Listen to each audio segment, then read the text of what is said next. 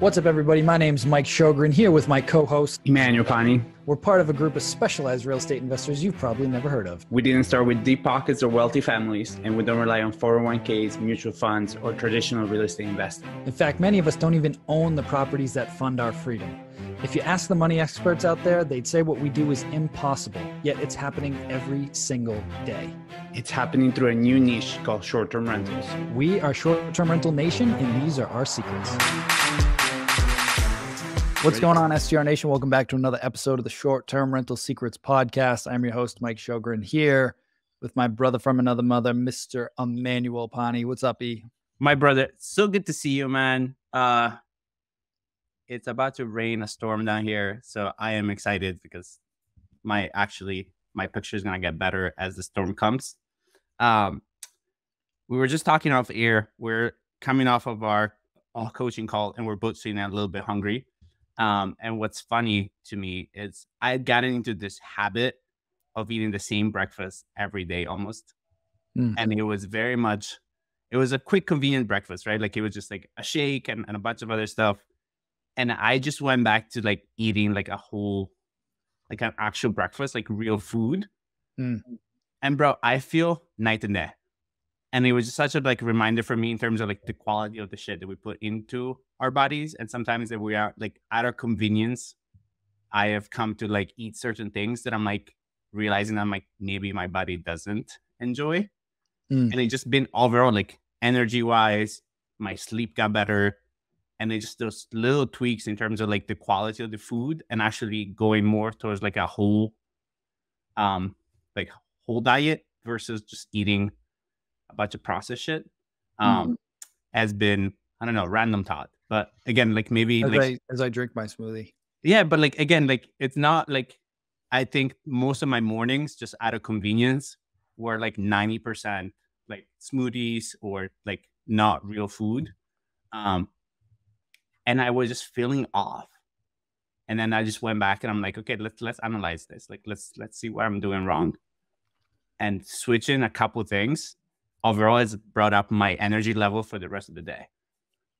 Yeah, and I I think that, and again, I am no nutrition or health expert by Oh, yeah. any means, but I feel like everybody's everybody wants like this the the silver bullet, but I feel like everybody's body's a little bit different, right? So like the last six months, about six months, I've been doing the intermittent fasting, and it works pretty good for me. Um, and I usually eat a light lunch and then I'll eat whatever the hell I want for dinner and just try and get my protein in for the day, and then it's just keeping it simple. And I learned that from um, Greg O'Gallagher. You guys can check him out on Instagram. He's got a massive following. I was in his mastermind, uh, Kinobody, for six months, and it's just so simple how how he keeps it. He's like, dude, most people don't think it, but like I have chocolate like every night. He's like, I just I can I know what my calories are. I know what my macros are.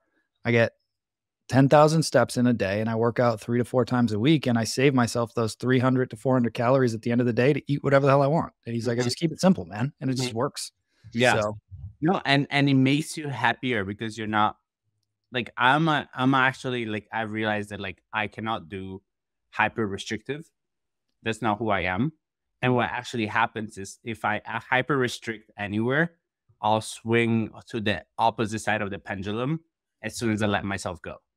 And that could be for like workouts, that could be for like work, that could be for everything else. And so it's like realizing that like my goal is not that uh, perfection or being hyper hyper disciplined. It's like okay, like how do I want to live my life? And like if I cannot enjoy it, why am I doing it? Versus like then I just make myself worse. Right? Yeah. So I don't know why I felt like sharing that, but again, we're hungry, but I feel a lot better than I did a week ago. So I am super grateful. Uh, and grateful for my mom. Random shout out to my mom for like actually teaching me to like eat all kinds of things. I think that's a huge part of like being raised by by with some kind of culture around food. I find myself being very very grateful to my mama to just having taught me how to cook one and then two how to eat all kinds of stuff. So Yeah. not STR related at all. Sorry guys, but kind of what came Well, out. sometimes we got to mix it up. Yeah, know? We got to mix it up a little bit. Yeah. Keep things interesting. So, But I'm super excited for our show today because these our guests are two of the cutest, most sweet people that we know in the industry. Uh, we have seen them. I, I remember seeing them at all of our conference and retreats and literally like witnessing their growth over time while still having their family, their business. So I'm just excited to have them on, and they're just generally just awesome people. Um, so I'm excited for you to introduce them. And yeah, let's let's go, man. Feeling is mutual. So today on the show we've got Kim and Dave Menapace. Uh, they are short-term rental investors and the founders of Five Star Co-host, a co-hosting company that specializes in managing high-end luxury vacation rentals across the country. In addition to investing in co-hosting, they are best-selling authors, uh, being featured in the Hospitable Host 2 book and they are the host of the Hassle Free Real Estate Podcast. They own two short term rentals, several long term rentals with partners, and they co host 14 properties in New England and various other states across the country. Uh, they are. Dave filled out the bio, so I'm trying to like wordsmith this on the fly. So Dave is a husband and a father, and Kim is a wife and a mother, and has a passion for public speaking and helping others achieve their goals through real estate. So without further ado, let's bring them up to the show. What's up, guys? How are you? Howdy. Thanks for having us. Yeah, that was that was a fun test of my brain power on the fly there to uh to wordsmith that. Because uh Dave got the invite and then I was like, uh Kim, you're coming, right? And so we just we just whipped that up real quick. So why don't you guys um I always like to start with how you guys got into this. So, you know, what was that epiphany moment or something that happened for you guys to get into real estate? And then I want to talk about especially the last 12 months you guys have really taken off. So let's start there. Yeah. Maybe so maybe maybe we go back about 10 years. Um Kim is a fantastic planner and visionary and organizer and a whole bunch of other things. Um, but when we were in our mid to late 20s, we did a lot of masterminding together, not knowing that that's what it was called or what we were doing. But one of the things that was important to us or we liked to envision was how we were going to retire by 40. And we would just organize our thoughts around that. We wouldn't take massive action or anything. We just think about it and talk about it. And we we have and we did and still have a whiteboard in our bedroom and this where we would talk about stuff. And um the theme that kept coming up was real estate. So I think that like that was going to be our vehicle. That was going to be what we hung our hat on. Um and so that's how it got into our mind of, you know, we need to really start leaning into this industry but Kim, maybe I'll let you talk about our first property. Sure. Yeah. So uh, I definitely agree with Dave. I think that planning far out so that you know where you're aiming is a big theme that we've been trying to execute on. And um, growing up, I had a friend whose parents bought a house 20, 30 years ago up on the, um, the beach in Maine. And they took one week every summer and then rented it the rest and it covered its expenses. And I realized that a very smart decision that might be a stretch at the time. If you execute at the right time can pay dividends later. So you get that one week vacation and then you get a retirement home that's fully paid off and you've been able to maintain it using other people's money because they're paying you for their vacation and they're paying off your asset for you. So i knew that we wanted to do that because we were going to Cape Cod a lot. We were crashing on futons, floors, and sleeping bags. And we were, you know, coming into our 30s and becoming parents. And I said, okay, that's not going to work anymore. So we'd actually rented a house and then surprisingly found this adorable little cottage on Cape Cod that was within a price range we could afford. And this was five years mm. earlier than we expected. So we pulled the trigger you know, a few years ago and bought that 500 square foot cottage. And now it's grown into a, a property management business and another house in Maine. So that's really what was my you know, inspiration was observing people 30 years ahead of us doing something really smart like that. And it was a stretch at the time, but now we look at it as a no brainer because it's opened a lot of doors. Yeah.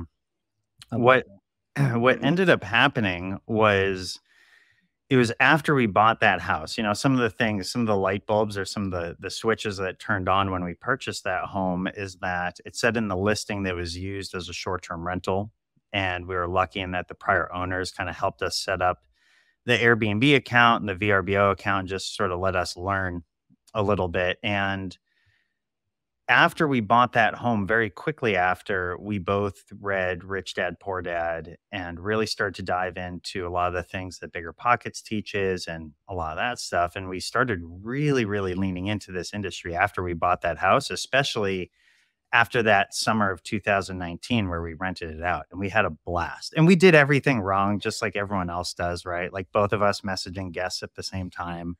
Um, just kind of fumbling through it, but we made a substantial amount more than the prior owners without changing anything.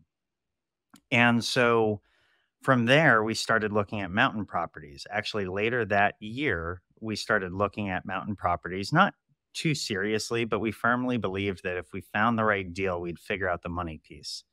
Um, we didn't end up buying anything that year in 2019 and then 2020 uh, kind of like came and went. You know, COVID did its mm-hmm. thing, mm-hmm. and I think it was that summer of 2020 or the year after, I can't remember. We started learning a lot more about leverage, and we started learning about how our homes, both our primary and our Cape House, were going up in value.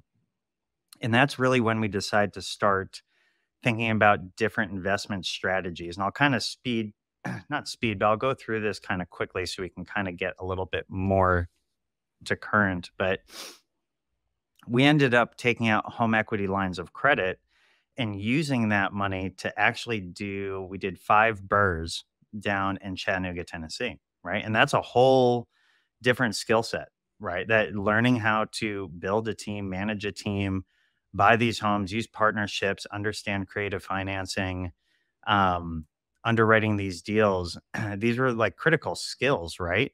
And part of the reason we decided to choose that market, which is a totally different topic to go into another day, is in Massachusetts with the with the money we had to play with, which was about a hundred grand. We didn't. If we screwed it up, we only had one shot up here because the the cost of homes down there we could take some reps, right? We could really start to build these different skills. So we did that uh, it was hard, right? You know, like we have a kid at that, and then eventually a second kid, right? It's funny how that works. Um, and, but it was really interesting. We were really, really learning how to create team members, create systems, if you will, with checks and balances. And um, so we did that. It has continued to work out pretty well. Some of those homes we still own, some we've sold off. Um, but we re- like our passion was in short-term rentals it really was and we knew that at the end of the day that was really the the niche within this industry we wanted to be in. So we sent an email to owners of a house that we wanted to buy in 2019 but couldn't make it work they ended up buying it and long story short they wanted to sell their home they were okay with selling their home to us and i was like holy crap cold email actually worked. like who, who would have thought? Um, that was the house up in Maine, up in the uh, Newry and Bethel markets. And that was really sort of what um, put this thing into overdrive. Is is now you know we're co-hosting and we're doing a whole bunch of stuff in short-term rentals, but making that pivot back into short-term rentals a few years ago building on the systems we learned before, going to these conferences and learning more skills and more tools and applying that has really what's sort of set the foundation for the businesses that we're building and operating now. I, I got to ask, what made you decide to get into essentially like BRRRRing houses in Tennessee? Because that's like complete opposite of what you got. So, what was the trigger for that? Like, what was the thought process? Yeah. Um, there were a couple of things. You know, really, we want to BRRRR another house in the Cape Cod, in the Cape Cod market. But there's not a whole lot of houses that are like run down right on the beach, it, it, at least within our price point. I was going to say, not for the money that we're talking about. yeah, not for 300 grand. So, um, uh, a light bulb had gone off, and Kim and I were in the car talking about real estate. And I said, you know, at this point, it's not like uh, Amazon stock was like three grand a share or whatever. I was like, if we were to start investing in the stock market right now, we probably wouldn't go after Amazon. We'd go after something that's more affordable. Maybe we should consider another market that our money could go a little further in. And that was really why we decided to do that. Why that strategy? Um, I think at least I had the itch to try to buy more real estate.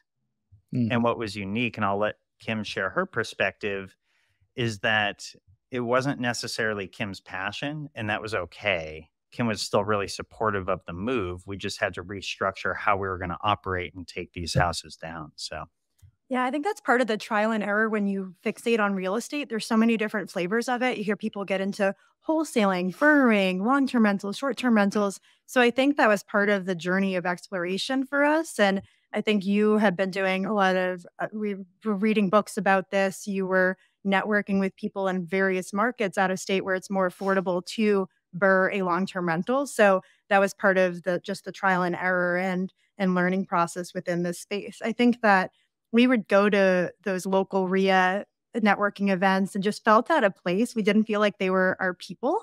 And I think that it wasn't until I went to the Miami short term rental wealth retreat where I finally felt like I, we had found our tribe and that made us help helped expedite us really hitting the gas pedal in short term rentals. And I think you probably felt that in June when you went to the first STR WealthCon. I just yeah. wasn't there. I was actually back here dealing with issues at both of our houses.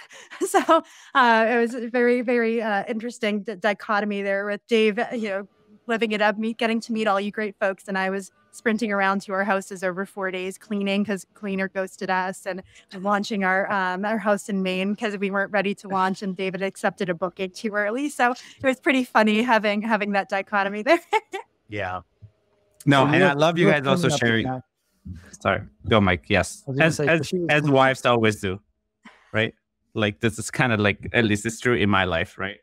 Um, and I love I would love for you guys to kind of talk about one. I love the journey, uh, and I think that the going to Tennessee makes sense for where the whole like uh, movement was going back in those 2020 days. Like that's that was all BiggerPockets kind of talked about. The same way now people talk about vacation rentals, right? And the thing with real estate in general to me is once you stay in it long enough, it's gonna become a trend. It's almost like things that like you should never throw out a pair of pants because eventually if you wait long enough they'll come back into fashion right? And so it's the same thing with real estate. Like over time like people talk about wholesaling people talk about BRRRRs people talk about like multifamily syndications hospitality and then they kind of restart over. Right. What is what was the roles and responsibility at the beginning and what are the roles and responsibility now?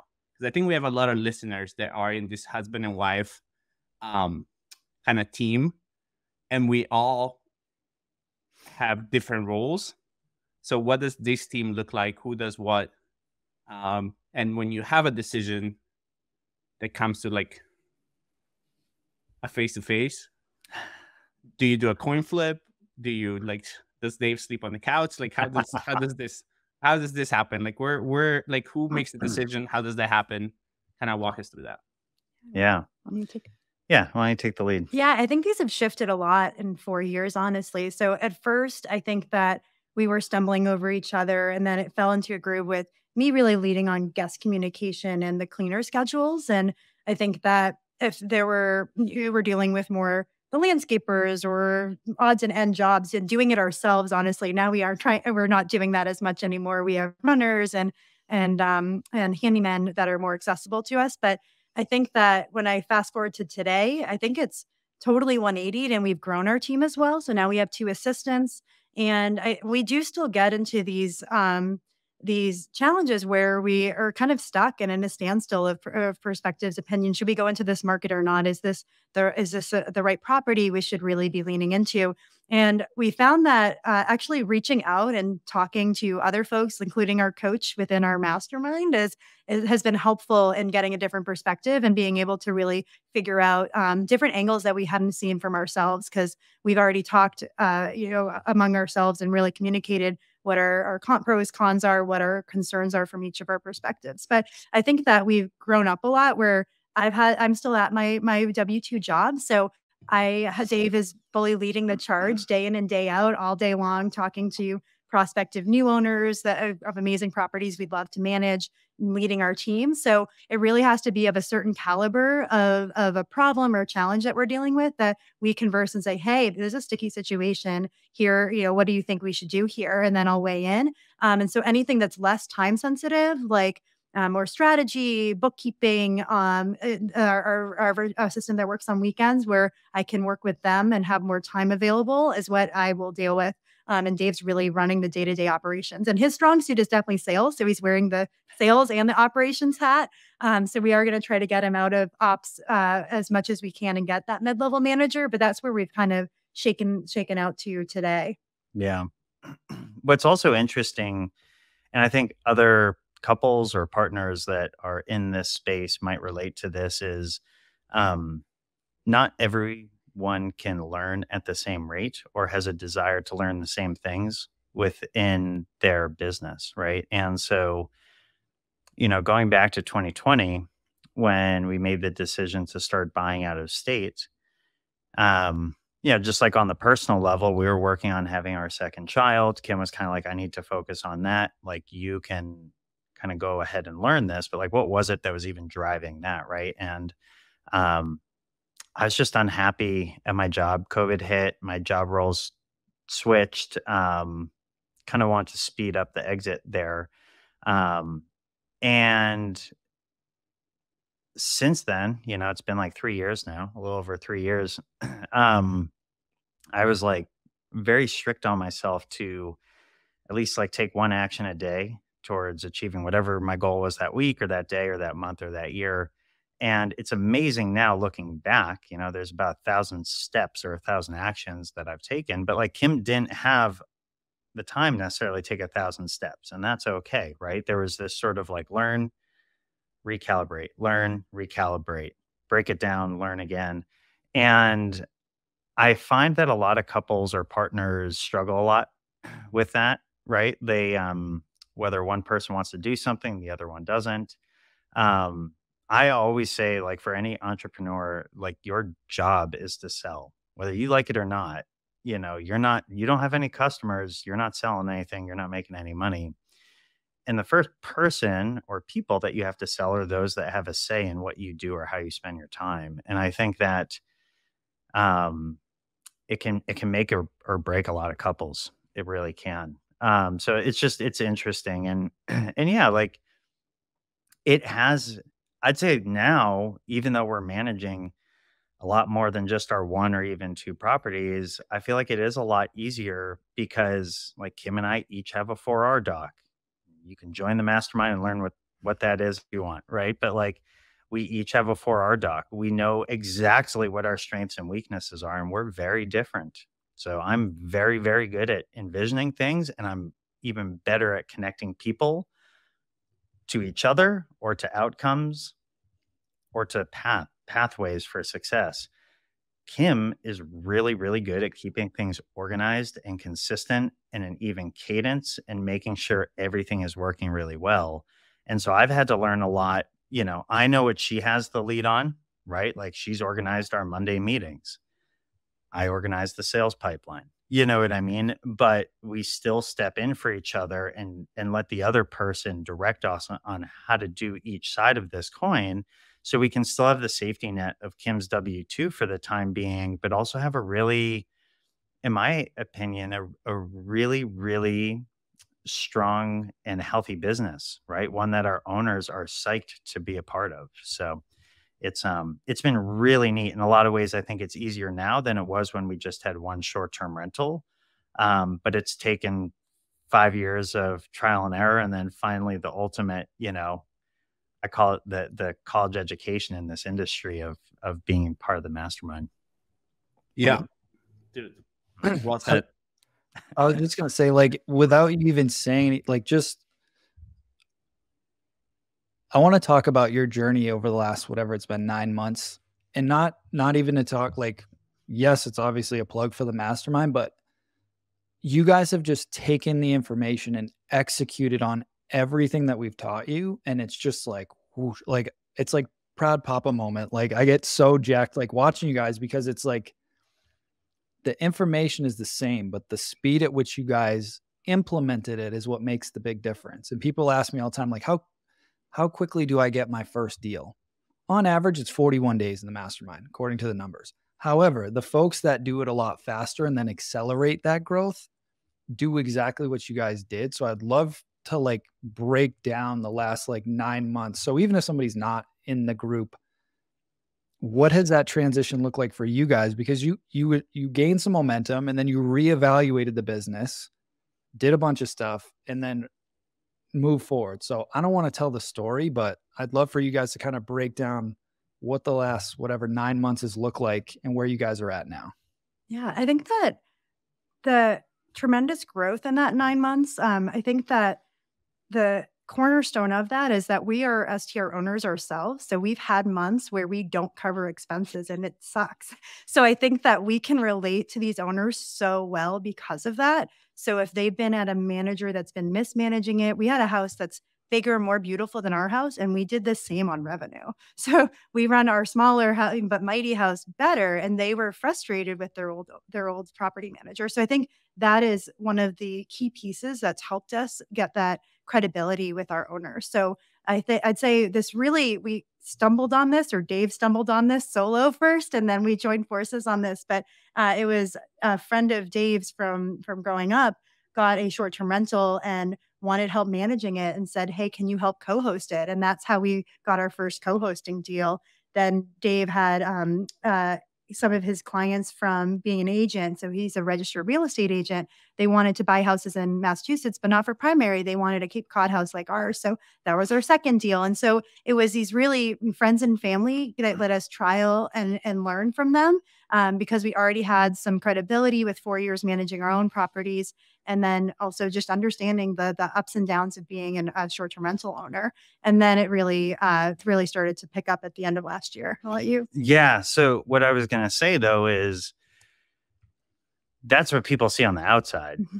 right? What was really happening though is you know we we went to you know we learned about this uh this type of model right within short-term rentals and we started taking on co-hosting clients last summer and we were having a lot of challenges. We were having a lot of challenges uh, understanding how to set expectations with owners how to be good managers for those owners because of that. We had no great systems other than kim and i for managing guests and it was just it was really hard. It was really really hard and you know, we got to a point at some point over the winter where we had to have a really big recalibration and we had to have some deep thinking on if this was really it, like if this was really what we were going to do. And uh, it was Kim who had sort of been poking around looking at masterminds to join. I was fairly occupied trying to understand co hosting. And we were pretty much like, okay, if we're going to lean into this business, we need to learn what the heck we're doing and we need support and we need to understand how to build this the right way. And so it was Kim who was like, we're joining that mastermind, STR Secrets Mastermind, and and we're going to learn. Otherwise, Dave, you can go back into healthcare. I was like, no, no, no. And but it was it was hard. Like I will tell you, there were tears, there were battle scars. It was some of the hardest times I think of my life professionally. And we hadn't even gotten going. Like we weren't an off the tarmac, right? And so we joined. We got educated quite quickly and we worked with our coach and other people in the mastermind, really just our, our coach and you guys actually to help sort of understand where we were and how we could improve from there. And a couple really neat things have happened within that beginning. And then we'll get to more like the growth and sort of where we're at. But, you know, um, a year ago today, you know, I'm sitting in Nashville at the in the back of the conference room watching and just trying to absorb. And in my mind, it was co-host as many houses as possible I, I wasn't thinking quite about how I wanted those numbers to look. then uh, Mike, you and Bill introduced the Miami trip a few months later, and I'm texting Kim. Maybe it was my birthday and she had a soft moment. I don't know. But I said, I think this would be a really good opportunity. Thinking like, there's no way, like, there's just no way she's like, I, I was not at a job anymore. Like, no way. Immediately, she's like, yep, sign us up. Let's go. And I'm like, holy crap. Sort of like when we bought the house in Maine, like it actually worked. Um, we're there, right? And we're sitting down with Bill, Faeth, and Julie George.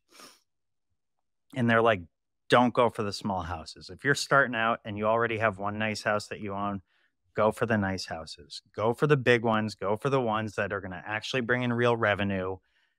And then, like all the other reasons around why that's a good product to, to manage. You know what I mean? And so we took that to heart, right? And so then we had to kind of untangle from some lesser performing homes, which was really hard. And I tell people now, it's way easier to go get a badass house that you're co-hosting than it is to part ways with a bad home or owner. It's really hard to untangle that whole mess once you've gotten yourself into it. Um, but we we took that to heart. You know, our coach was always like, "Man, I wish I had as many nice houses as you guys." I was like, "Well, it's easy. We just say no to 90% of the stuff that comes over our desk."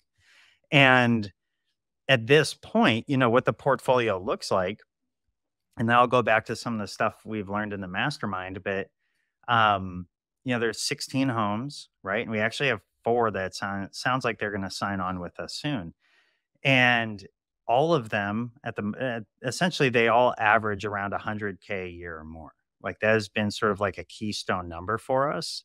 It seems to work well for the owners, it works well for the guests, it certainly works well for us and um, the number one question we get from owners is like, I want to get in on this quick because I, I don't want you to max out and not have time for me.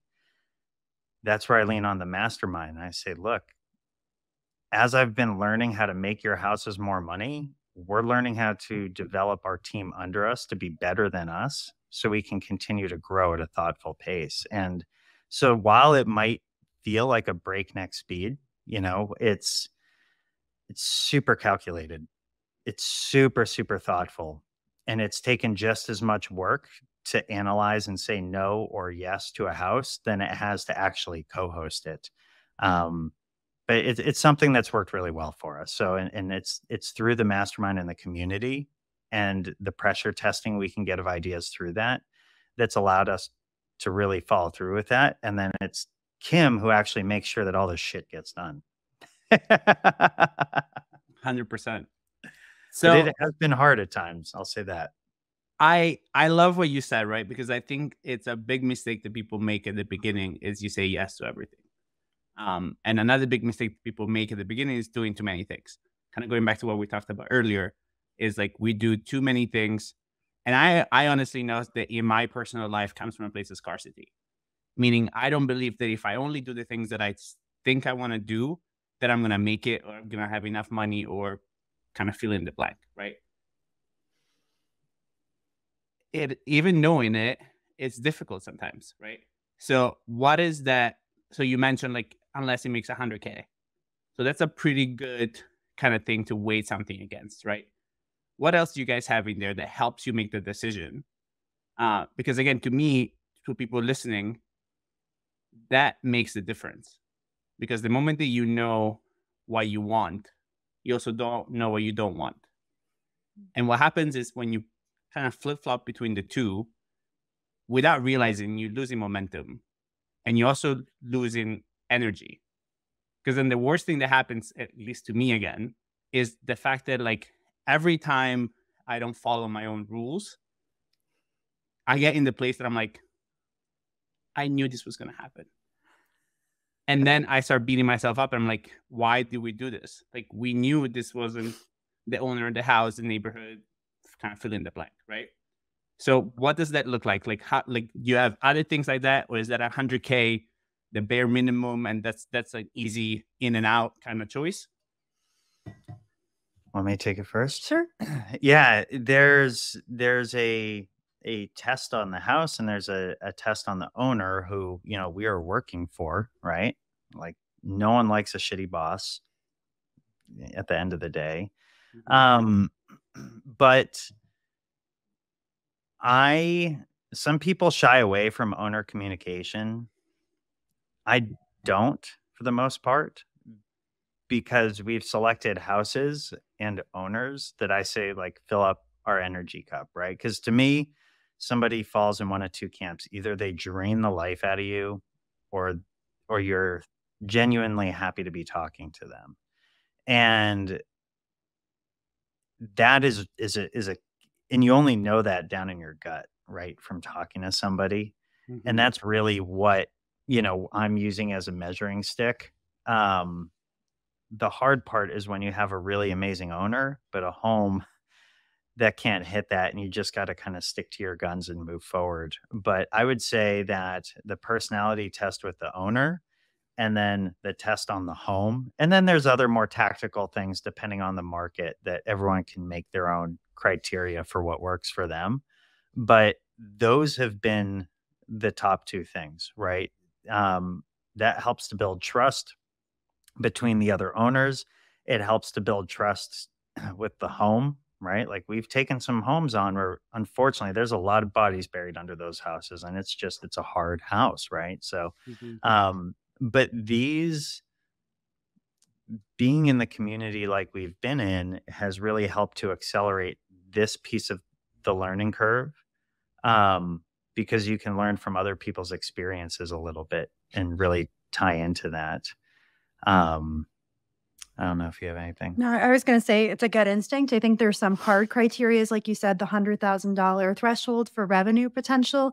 There's the property itself, it, marketability of it, the logistics of it, and then the owner. I think that that's a big piece. If their goals are not aligned with trying to maximize revenue for them, and they want to use the house for a ton of personal time in the peak season and things of that nature, then we realize it's we're probably not the right fit for you if you're going to take this a little bit more casually because we really want to push you to the to the top performing percentile. So those, are, but it, it, the last thing that I I trust my gut for a lot of things. And when we saw that first house for over four years ago, and we got in the car on a snowy fri- February Saturday morning, Dave said, "What do you think?" I said, "We've got to go for it." I just knew in my gut we had to buy this house, and it was going to be our forte into short-term rentals, and we never looked back from there. And I think times I get out of touch with it, then I, that's when I seem to deviate or make a mistake. So I really try to go back to that and being very centered and thinking through how to, Mm-hmm. you know, how do I feel about this if I just put away all the mental energy and over calculating and what is my what is my gut telling me and my intuition telling me in this? Yeah.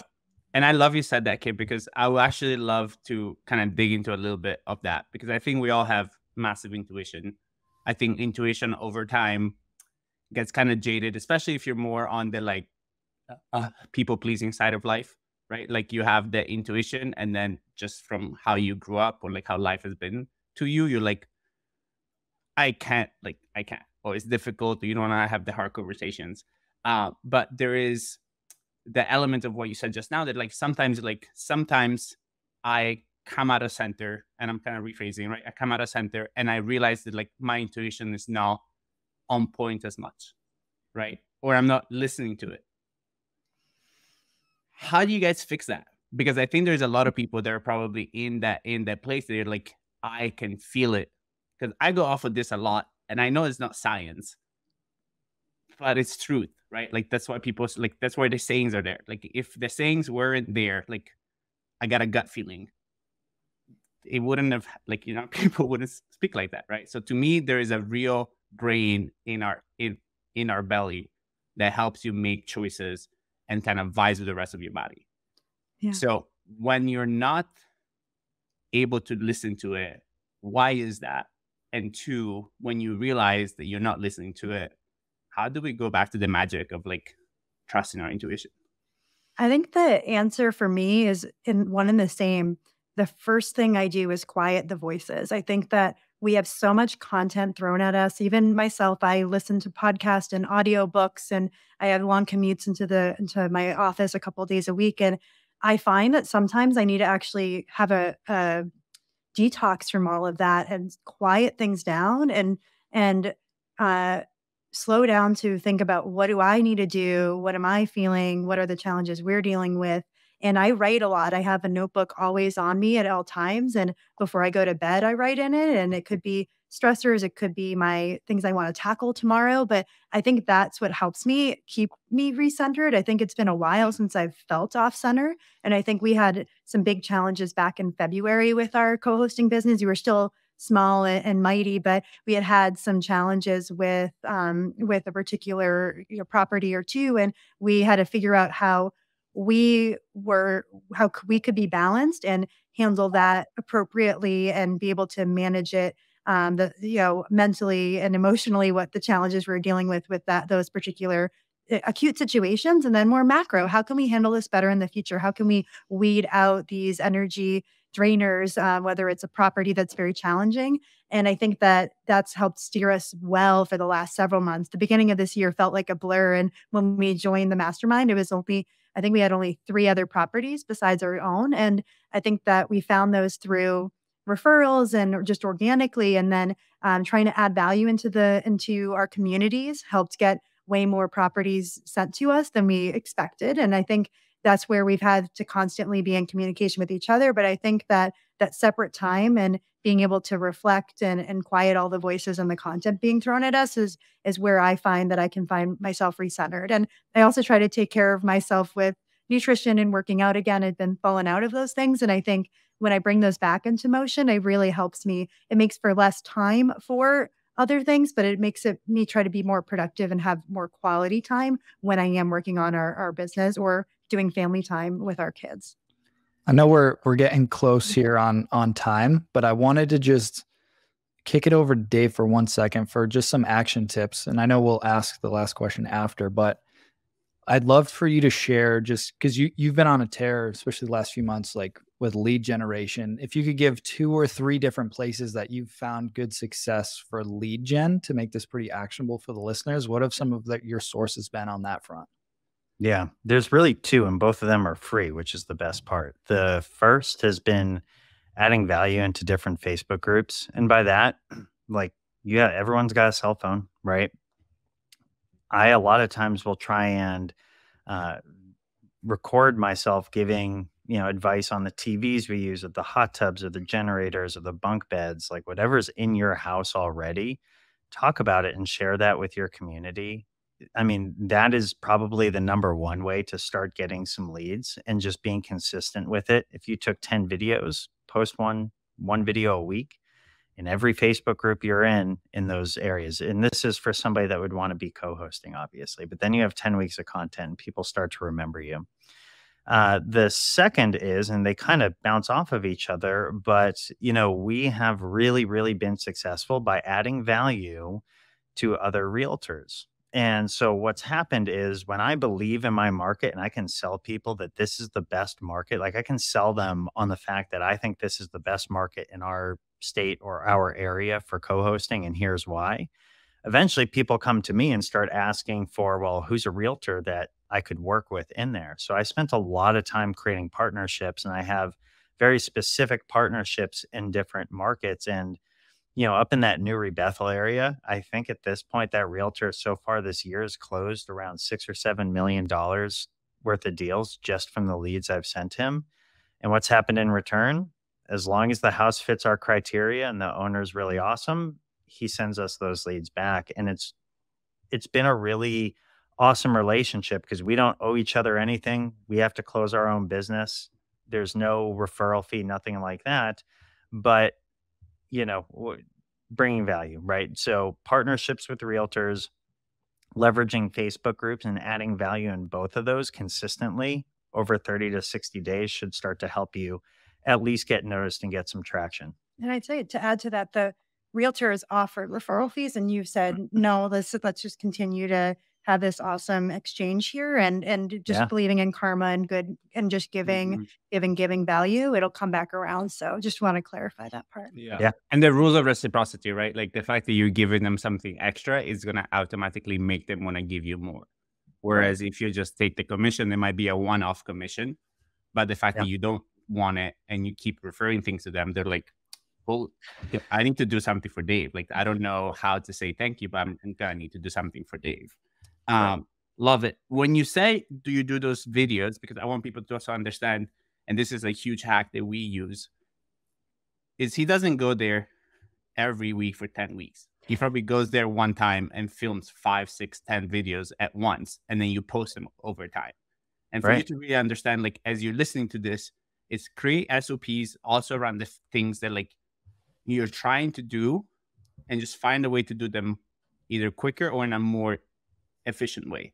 Because again, it might be a pain for you to set up a 10 video. It might take you three or four hours, but it's going to take you a lot longer to go there every other week or every two weeks to do videos. Right. So like kind of like own the fact that like what you're trying to do and own the fact that like there is a time that goes into it that feels like a lot. But when you look at it from the top, you'll realize how right. less time you're going to spend doing it just because you decided to spend a little bit longer to do it at the beginning. The other thing I'd say real quick, and I know we're coming to the end here, is you know, BiggerPockets. I'll always say, like anyone that gives you value, ask how you can help them in return.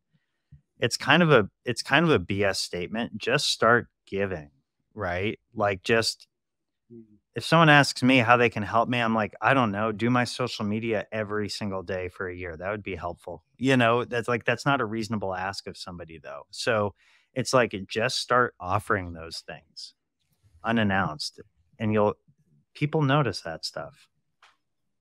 100%. 100%. Well, before we get in the last question, I want to thank you guys for coming on here and uh, sharing your story and your journey and uh, super pumped to see where you guys go with this. Um, where can the listeners learn more about you guys and find out all the info about everything that you guys got going on? Yeah. So we have a, a website. It's uh, the five star cohost.com, but it's five, the number five, s-t-r strcohost.com. Uh, our uh, Instagram handle is the same, 5strcohost.com, or it might be 5starcohost.com. You'll find it either way. And then uh, there's also Menapace underscore real estate. That's on Instagram too. So that's probably the best way, either of those. Love it. Love it. Well, as you know, the last question that we ask all of our guests is what is your number one secret to success with short term rentals? Can we ha- each have our own answer? Sure. We'll share the, we'll share the love. Obviously. Come on, you go Trying first. to subliminally send it to you. Just kidding. No, yeah. Yeah. um, I, I think it's reach up and out. I think that we've learned and accelerated so much by just meeting more people. And instead, of, when we run into challenges, instead of ca- you know, kind of suffering silently and keeping it to ourselves, being vulnerable and honest and reaching out to other people we've met through a variety of ways. I think that's been my biggest uh, learning this these last uh, this last year, and especially these last few months when things have been really accelerating in our business. And then my my secret is one that not many people have access to, so sorry about that. But my secret is sitting right next to me, Kim. So the reason I say that is if you follow our timeline, our journey, it was Kim's idea to buy the house in Cape Cod it was Kim who said, if we find the right deal, we'll figure out the money piece. And then did the research to figure out how we could buy more houses out of state. It was not Kim's idea for Maine, but that's okay. It was her idea that we stick with it, even through some of the biggest challenges we've had. And it was her idea that we join the mastermind. And if you think about all the right decisions we've made, those are all of them right there you know the rest is just putting in the work. So i'm thankful for kim my uh, my homie right here and that's my secret. So we all got we all got to find a kim. So yeah yeah find a kim. Yeah. Like the bad news is that you can't have this kim but the good news is that in a way shape or form you may be able to find a kim in your life that works like that. And and i love you guys overall and i love your appreciation for each other and I love that like that homey feeling, right? Like the the fact that like you guys are in it together. And at the end of the day, like your spouse, sometimes they put kind of friction. And they don't mean it from a bad place necessarily. Sometimes I hope not, at least. Uh, and just kind of like figuring out how to make this work is gonna yield the most life changing things because Right. anything else, you know, what I mean, like even if you do a partnership with somebody else that is not your spouse, the benefits that you're going to yield from it are going to be always less, at least in my mind, to what you can create when you create a beautiful business that sustains a beautiful life within your family. Um, so I'm super excited for you guys, super proud. I'm super grateful that you guys are in our in our circle. Thanks for having us. Honestly, it's been life changing for us. So it's it's been fantastic. Awesome. Well, this was a lot of fun. Uh, for the listeners out there, hope you guys enjoyed this one. Uh, make sure you follow these guys on Instagram and Facebook. They're like the epitome of exactly what you want to do and just continue to take action and always lead with value. Like if I was going to categorize these, they're just genuinely good people and they always, always lead with value and the results will always follow that. So just keep that in mind. Have an amazing week. We'll talk to you guys soon. Hey, STR Nation, if you enjoyed this episode, please make sure to hit that subscribe button and leave us a review. And in the comments, let us know what topics you want us to cover on upcoming episodes, and we'll make sure to get that in the books for you. And if you really want to learn how to launch, automate, and scale your short term rental business, if you want to go deeper, then check out our free masterclass at strsecrets.com.